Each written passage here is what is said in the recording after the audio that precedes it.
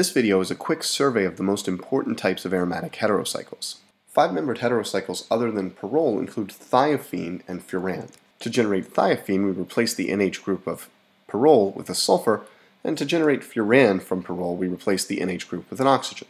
In both of these molecules, one of the lone pairs on the heteroatom is associated with the pi system, while the other is located in an sp2 hybrid orbital, and you can see which is which in the orbital diagrams below, which show us the atomic orbital inputs to the pi molecular orbitals, along with the hybrid that houses the other lone pair. The lone pairs in blue are part of the pi system, while the lone pairs in black are located in sp2 hybrids and are thus part of the sigma system. Fused aromatic heterocycles consist of two rings, either two six-membered rings or a five and a six most commonly. Benzofuran is just furan with a benzene ring fused to this side of the molecule that I'm highlighting. An isomer of the molecule shown here involves fusing at the other type of carbon-carbon bond within this structure. Indole is analogous to benzofuran and involves pyrrole fused to a benzene ring through the same type of bond, the carbon-carbon linkage closest to the heteroatom. As in the furan case, this molecule has an isomer which involves fusing a benzene ring to this carbon-carbon bond, and that's called isoindole. Benzothiophene is simply the sulfur analog, where thiophene is fused to a benzene at this carbon-carbon bond closer to the heteroatom. Quinoline and isoquinoline are pyridines bearing fused benzene rings, and they differ in the position of the fusion. When the carbon-carbon bond closest to the heteroatom is used for the fusion, we end up with quinoline, and when the carbon-carbon bond distant from the heteroatom is used for the fusion, we call this isoquinoline. We're going to look at two types of two-atom aromatic heterocycles here, heterocycles containing two heteroatoms. The first are called the azoles.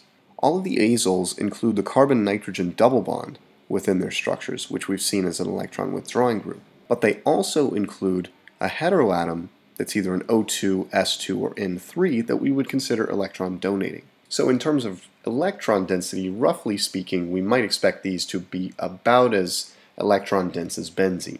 An important question with the azoles, especially imidazole, which contains two nitrogen atoms, concerns the basicity of the lone pairs on the two types of heteroatoms. Which heteroatom would we expect to be more basic on the basis of electronegativity and the nature of the electrons on these atoms, whether they're pi electrons or part of the sigma system? In fact, in all three of these structures, for reasons that will become clear later, it's the doubly bound nitrogen that's the most basic atom.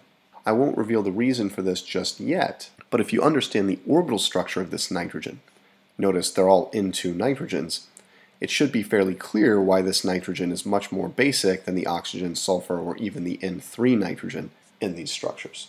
The second important class of two-atom heterocycles is one that we've seen already, the diazines. Diazines contain two copies of the carbon-nitrogen double bond, and they differ in the positions of the nitrogen atoms. Pyrimidine has a meta-like relationship between the nitrogen atoms, pyrazine has a para-like relationship between the nitrogen atoms, and pyridazine has an ortho-like relationship between the nitrogen atoms. Because these molecules contain two copies of an electron withdrawing group within their structures, all of these rings can be considered significantly electron poor. Even so, diazines find important places in chemistry and pop up in some rather unexpected places. For example, pyrimidines correspond to a class of nucleobases or nitrogenous bases in biochemistry. Pyrazines are byproducts of the Maillard reaction in cooking. So whenever you brown a piece of toast or cook something in the oven, pyrazines are generated, and they're a component of flavor of toasted or roasted things. The last thing I want to look at are aromatic stabilization energies for some of these heterocycles. While you should by no means memorize these numbers, there are some interesting trends we can pull out of this table that I want to highlight. The first is to note that benzene's aromatic stabilization energy is large relative to heterocycles, which tend to be lower. Pyrrole, furan, thiophene, all these numbers are significantly lower than benzene's aromatic stabilization energy. The second thing to notice is that the fused aromatic heterocycles, at least the ones that we have data for, tend to have much larger aromatic stabilization energies than the monocyclic rings. Largely what's happening here is an additive effect, where indole, for example, enjoys stabilization from both its pyrrole ring and the fused benzene ring.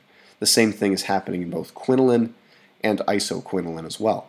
Aside from this interesting observation of the large stabilization energies of the fused rings and the large stabilization energy of benzene, which is the only hydrocarbon in this table, we really can't pull out any other useful trends from this data.